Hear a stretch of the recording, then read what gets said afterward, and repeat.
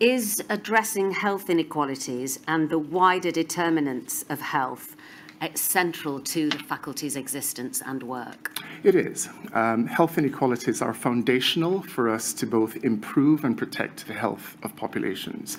Health inequalities are essential in understanding individual and community resilience to shocks such as pandemics. And as a result, we have a strong focus on health inequalities, my lady, both in the training and capacity development, in the accreditation of our practitioners, when we assess them for their competence, and we have a strong program of on issues and matters related to health inequalities. Thank you.